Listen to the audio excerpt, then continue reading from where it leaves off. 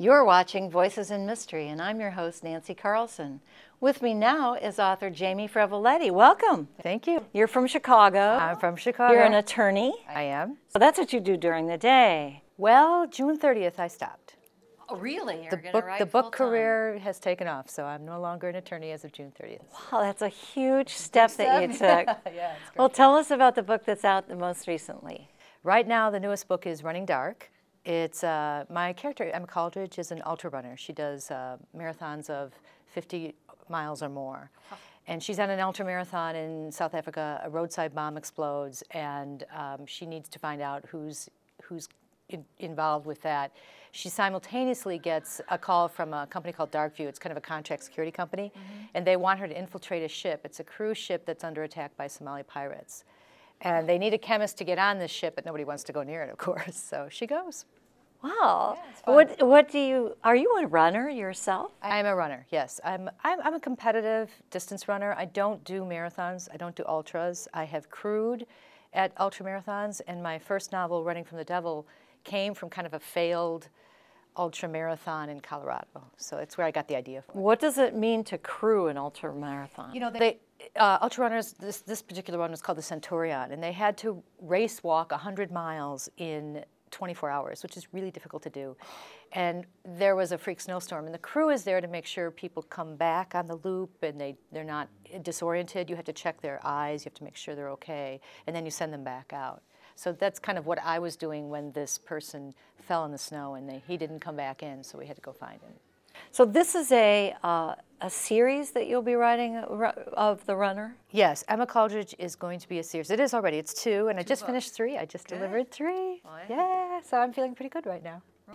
When you say delivered, they don't want to read parts of it. They want the you to write the whole. The publisher wants you to write the whole book first and then send it. in? Not in my case. Once you have your first contract, yes, your first contract, you have to get a complete manuscript to them. But once you're on what's called the option book, you can write three or five chapters and you do a synopsis. They purchased numbers three and four based on that, and now I have completed the manuscript number three. Good. Yeah. What's number four going to be about? I'm, I'm not quite there yet. I have a really great idea that I kind of don't want to reveal yet, so I'll let everyone know next year. yeah, we'll, we'll have you back on the show and you can tell us about that. And do you have uh, other series that you want to start, or are you going to stay with your Emma series? I think you'll be seeing my name on another series, and that's all I can say at the moment. This is very mysterious. Now, you, you practiced law, I put that in the past tense, Yes. and you know so much about the courts and about the seedier side of life. After all, a lot of people who need lawyers are in trouble. Was that the kind of law that you practiced? I did uh, trial work, yes. So I did a lot of um, fraud, securities fraud, a lot of Madoff type schemes. Um, I did food, drug, and medical device, which is really where Emma comes from. Uh, the food, drug, and medical device thing is where we would say get a drug approved through the FDA. And there are a lot of issues with involving that. So I know a lot about how to research chemicals. And Emma, my, my character, is a, is a chemist for that reason. It's just things I know how to research. Right. So I did a lot of that. Um, and I loved it. I, I loved being a litigator. I loved every part of it. But the book thing, I, I couldn't do both well. I had to make a choice, and the, and the books are doing very well. So I, I'm going to go with that for a while. Were you able to work in Chicago settings into your books since you live there and it's such a rich city? I know it's well. We have the craziest stuff going on, don't we? We just had a kind of interesting thing going on today with the um, packages mailed to the to going to be mailed to Chicago with bombs in them. The terrorism. Um, I have not put Chicago in yet because my books are international thrillers, and I, I kind of like. I did a lot of international work. I, I, I worked with international clients, so I kind of get like a broader view. And I lived in Geneva, Switzerland, getting a diploma in international studies right oh. after law school. So I kind of like that. So right now, no Chicago. Too cozy for you. Too close to home, I guess.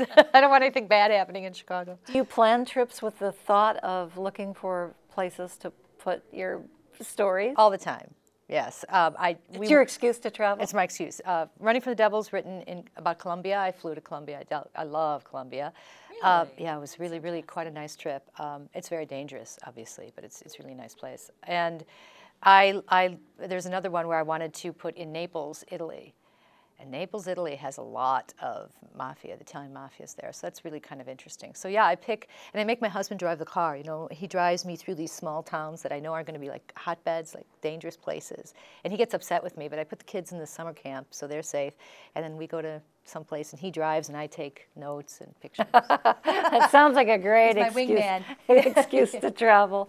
So now that June 30th happened and and you didn't have to put your suit on anymore, it's are you enjoying the new kind of life? It's quite different from your I, career. I, I love writing. I think I'll, I wrote when I worked. I wrote when I, you know, as a lawyer. I'm writing now. I will always write. So it's that aspect is the same. There's a whole lot of time opening up in a day that it's just been very helpful to me. that you've never had before. that I've never had before. So that's been really fun. I am going to miss some of the intellectual stimulation of being in a firm, talking to people every day, you know, solving problems. It, there's a lot of high, there's a lot of adrenaline in a law firm, especially during a trial. What did your bosses say when you turned in your two-week notice? My boss said, my boss is my husband. I had gone from a large, a huge, large corporation to his firm. He doesn't do litigation. I, I do, so I did all his litigation.